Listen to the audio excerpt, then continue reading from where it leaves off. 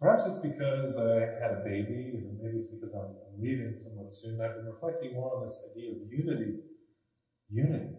I think it's easy with a family member to have this sense of unity because, you know, where do you end and they begin, especially with a baby, right? Uh, they can't live without you. They can't live without someone taking care of you. But again again, Christ returns to this theme in Scripture. We've, we've heard it talked about many times here at the Church of the Good Shepherd. And here specifically towards the uh, end of John, as we head towards the crucifixion, we hear him talking about be in me, be in us. I hope they are in us as I am in you, Father, as you are in me. And he said this a few different ways throughout the scripture, so it's understandable if we get a little twisted. But here he's praying to God and saying, hope they're in us so that they may know that I was sent from the Father, from you. This idea of being in God is, is kind of an amazing one when you think about it. This call to know, to, to be in unity with the Creator, the divinity. What is it? What does it mean?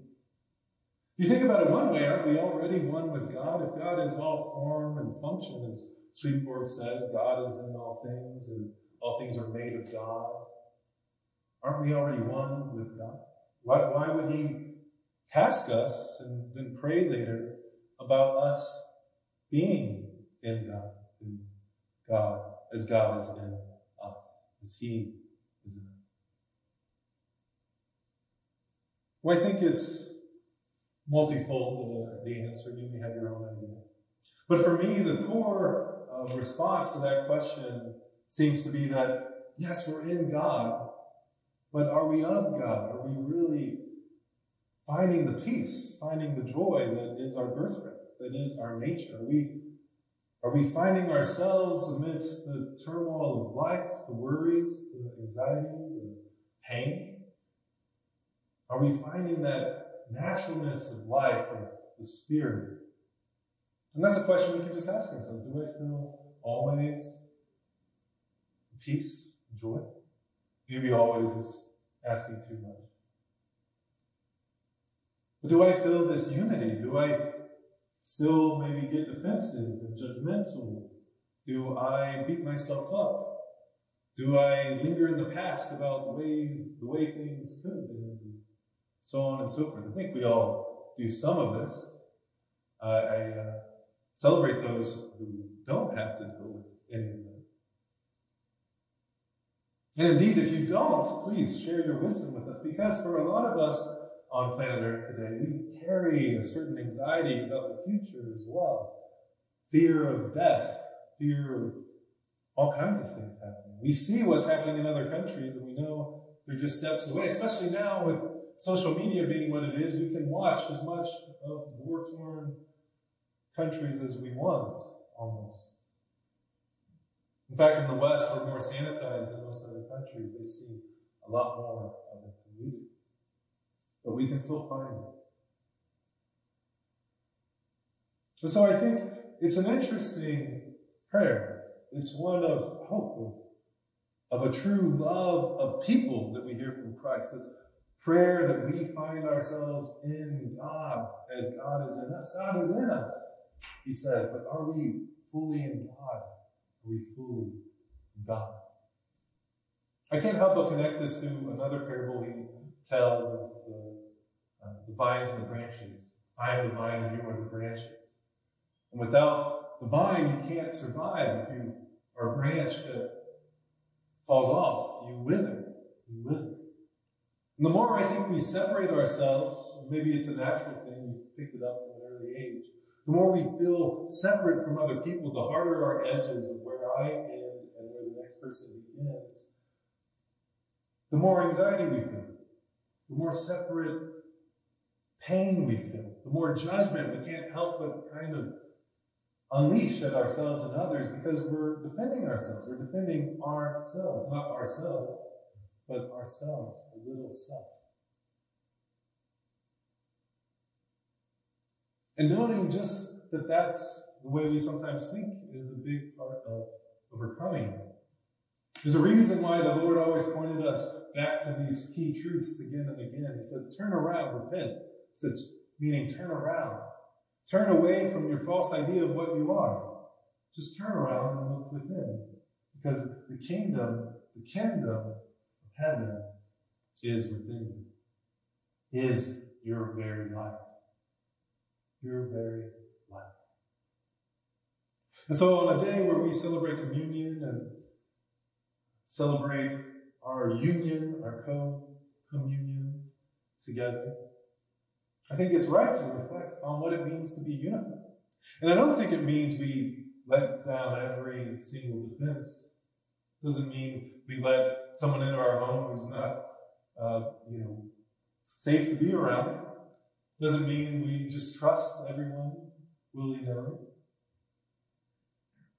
Doesn't mean, etc., etc. It doesn't mean that we have to let go of our defenses necessarily entirely.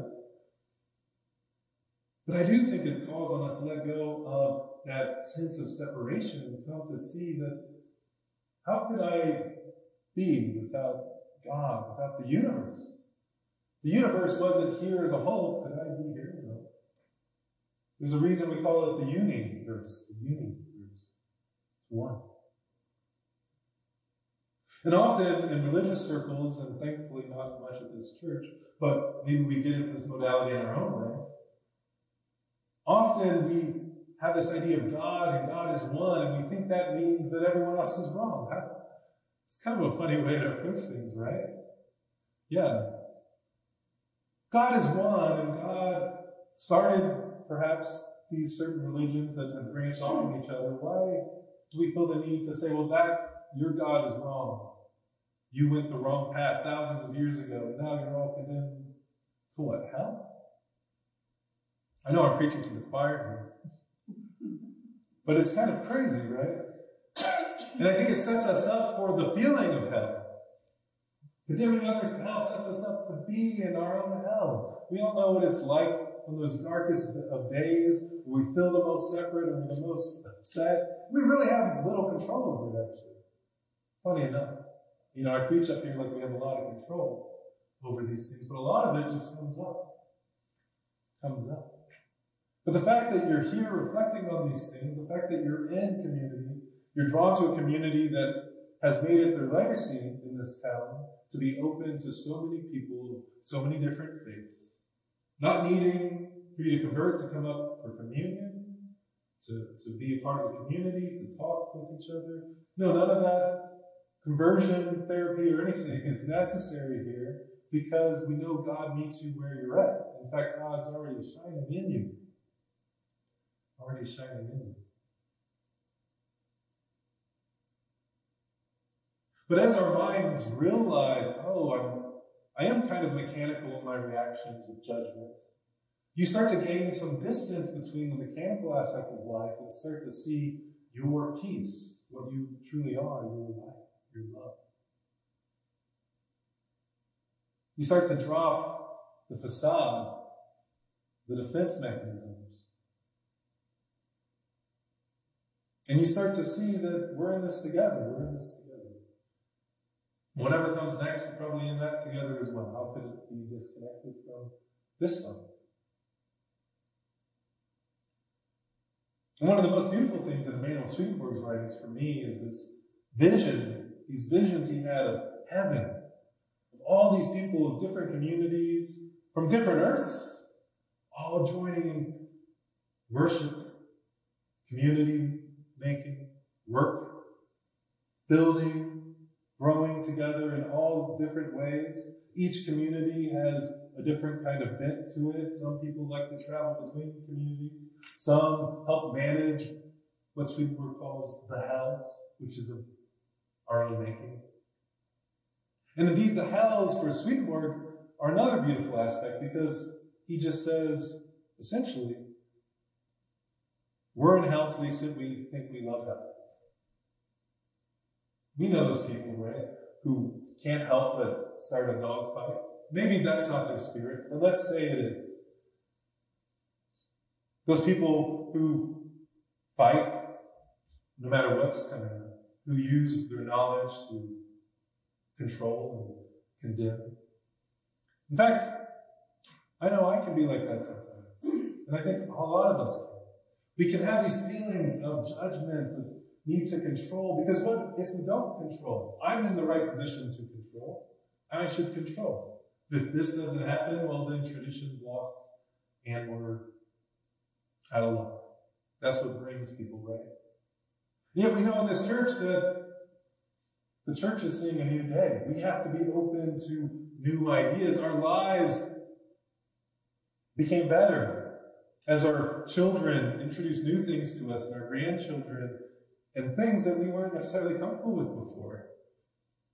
And we, as we came to accept them, we started noting that maybe our old barriers and our old sense of what has to happen weren't exactly right.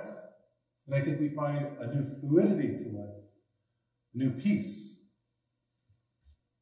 a new love. Our minds have trouble with this message sometimes because they have to be right. What is our mind when we talk about it this way? It's the thoughts, it's the judgmental or analytical, whatever it is, have habitual thoughts. And often we identify so much with this idea of ourselves, we miss our true nature, our true self. And so as we reflect on what it means to be in God, I think it's an enabling impulse. One that helps us to see that our minds aren't always in God. Is God really thinking the way I think? Really? He says the way we think isn't like how he thinks, according to Scripture, how she thinks.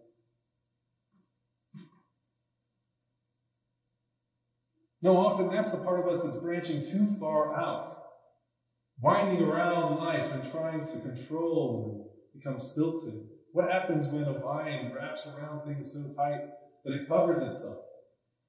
Well, it loses the light, loses the connection to life, to water. It becomes disconnected from the vine. Becomes disconnected.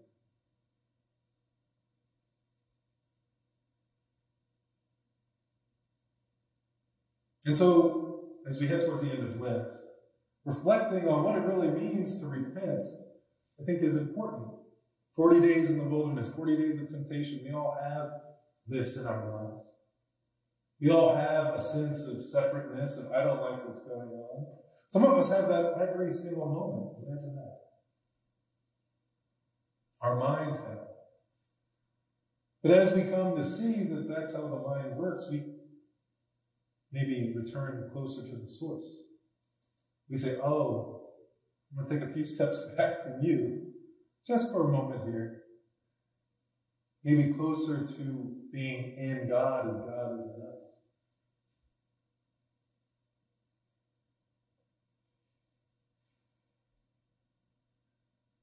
And so as we look for love and as we look for joy, I don't think we have far to look. So let's take a few moments open our hearts, open our minds. We don't need to build these things within ourselves, but let them unfurl. Let go of the things holding them down, the cinder block that the earth has taught us to think like. As Christ said, they are not here for this earth. They're not part of this earth. They don't belong on this earth, in this earth. Mysterious saying.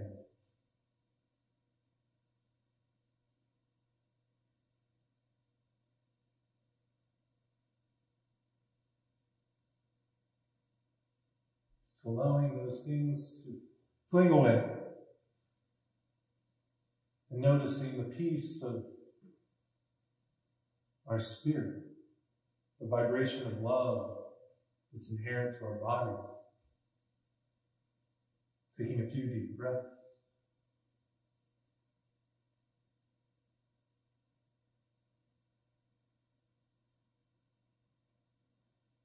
Noting that the thing, the judgments that think something's needed to get ahead are the very things keeping us behind.